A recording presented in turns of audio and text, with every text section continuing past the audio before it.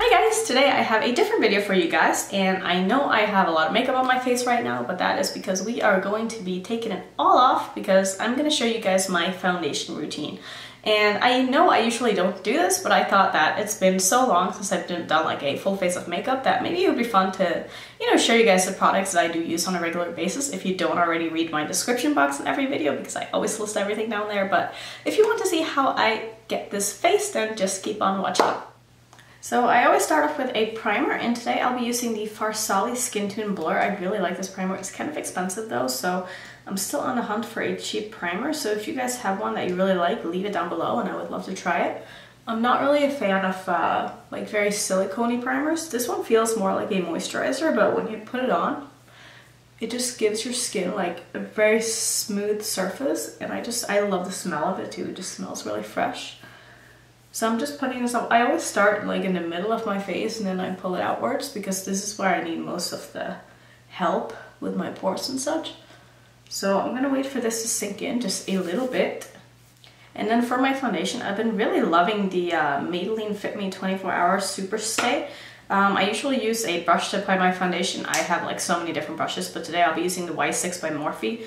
This is by no means my favorite, it's just the one that's the least dirty, so I always start on the bottom of my face because this is where my problem area usually is, where I get a lot of my breakouts.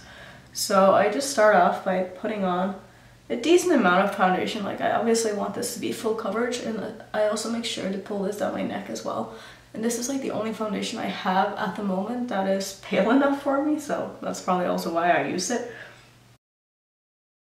And I normally use about two pumps of foundation, so this was just one. And now I'm going to go in with another one and I'm just kind of stamping this on the rest of my face before I go in and blend.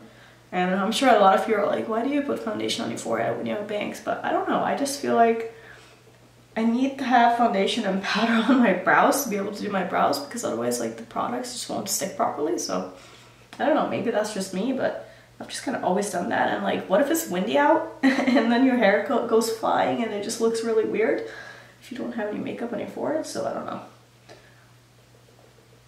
Or maybe I'm just outside more than most people, who knows. So I feel like my base routine is like kind of boring. It's really not that special. Like I don't really do anything that people would go, oh, I've never seen anyone do that. But it works for me and I feel like my foundation looks pretty good most days, so. I am kind of in the hunt for a new foundation though because I need another winter shade. I have tried this NYX lightening thing and it just doesn't really work that well. Like you need to use so much of it to really be able to lighten the foundation and by the time you put in like enough of this lightening thing, it's just like, it really changes the texture and everything of the foundation. So yeah, I'm not really a fan of that. So I need to get a new foundation that's light enough for me right now. Uh, for my concealer, I have like nothing left in this Tarte Shape Tape, but I'm going to use this today. And honestly, this one is a little bit too dark for me right now. So I am going to go to Sephora today and pick up another concealer. And I think I want to try the uh, new Too Faced one because I've heard so many good things about that. And I'm taking a small brush from BH Cosmetics to blend this out. This is uh, brush number six, I think from their marble set, and it's really, really good. And I always put a lot of concealer on my nose because sometimes when I apply my foundation, it doesn't really stick on there, so I make sure to get enough coverage on my nose so that it stays on the rest of the day. And I'm also not one of those people who really uses concealer to brighten because I don't feel like I have a lot of like dark circles. Maybe I do. Maybe I just don't really pay attention to it, but I mostly just use it for a little bit extra coverage and I feel like every time I do my makeup, I always wear eye makeup anyway, so like if I have dark circles, I could just pull my eyeshadow down a little bit more and it covers it up, so maybe I'm the only one who does that, but it really does work, so I'm not really too bothered with the concealer that I use as long as it doesn't crease on me during the day and it has enough coverage, I'm pretty happy, so Oh, and if you're wondering what shade I am in the foundation, I'm using 112 right now, which is pretty much as light as I ever get. So I'm going to take my Cover FX powder. Um, I do have the Too Faced peach one, and I can't decide if I like it or not. I feel like it's not like, I feel like it's just too light. I don't know if that makes any sense, but like I feel like there's no coverage to it, even though this one is translucent too, but like it just like feels too light on me for some reason. So I'm going to just take a dry sponge because I am lazy AF and I don't really like to go wet my sponges. And if I wet them it means that I have to wash them. So I'm just putting down a little bit of powder under my eyes. And I'm not going to be baking for a long time, I'm just setting right now and I'm going to pretty much dust it away right after. And I'm going to take a big powder brush, this is from Mato and I got this on Amazon. And I'm just going to pat this onto my face. I don't like to use swirling motions until I've set it because I don't want to disrupt the foundation. I'm just going to wipe away the bake. Dipping into some more powder. Now before doing anything else, I like to go in with some kind of a fixing spray. This is from Ofra. And I find that this really just helps to make sure the powder sinks into the skin and it doesn't look too powdery and cakey. Next, I'm just going to go do my brows off camera because that's always what I do after I do my foundation and my powder, so I'll be right back.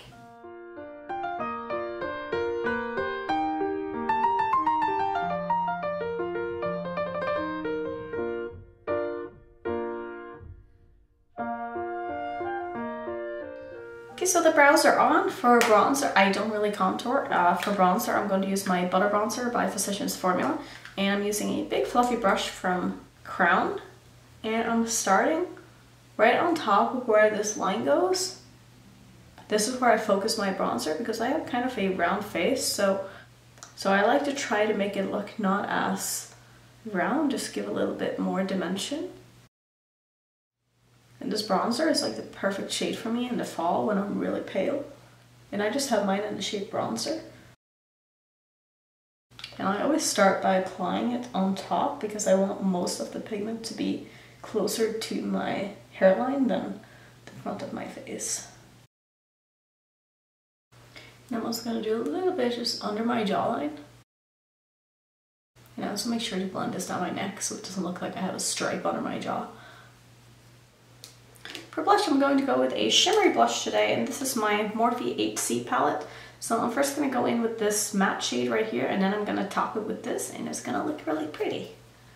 And I'm using a Japanese brush to apply this. I don't know if they sell this anymore. It doesn't really say what it's called, so I don't know. So I always start off by just gently patting it onto the apples of my cheek. But I always make sure to blend my blush into my bronzer because I just find that it makes it look more put together and like it's supposed to be like that. And I just kind of pull it up into my bronzer. And this is such a pretty like peachy orangey shade. I really like Morphe's blush formula. I think it's so good and it's so long lasting on me. And I like how it's pigmented but not too pigmented. It has just the right amount of pigment to it. Next I'm going into that shimmery blush. I'm just going to do the same thing. I'm focusing this mostly on the apples of my cheek, but I'm also pulling it up a little bit. And I also like to put just a little bit of my blush on my chin. I just find that it makes it look more cohesive, like as if you've been out in the sun.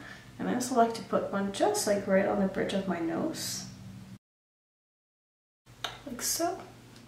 And before I do anything else, I like to go in with my Hourglass finishing powder. I just have a mini. This is in the shade Luminous Light. And I'm taking this on my Morphe G7 brush. This is the softest brush in the world and I would really recommend you picking it up. It's so nice. So I'm just swirling this into the Hourglass powder and I'm just going to start by buffing it over everything and just making sure that everything is blended nicely. There's no harsh lines and it just gives like a nice sheen to my face. For my highlight today, I think it's appropriate that I use the Anastasia Amrezy highlighter because this one is coming back in stock if you guys have been thinking about picking it up. I really like it. I think it's a great highlighter and it's just so versatile. Like I feel like I can use this with any look that I do. And I think it looks good on most skin tones. Now I will say in the winter it's a little bit too dark on me, just like a smidge, but not so much that I can't use it still. And in the summer it is absolutely stunning.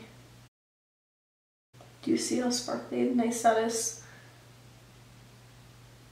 Yeah, I'm gonna put on a little bit of extra highlight today because I'm going to Sephora and doing some shopping and I want my highlight to be popping. And that is basically it. So I'm to finish out with a little bit of setting spray. This is the Milani Make It Last.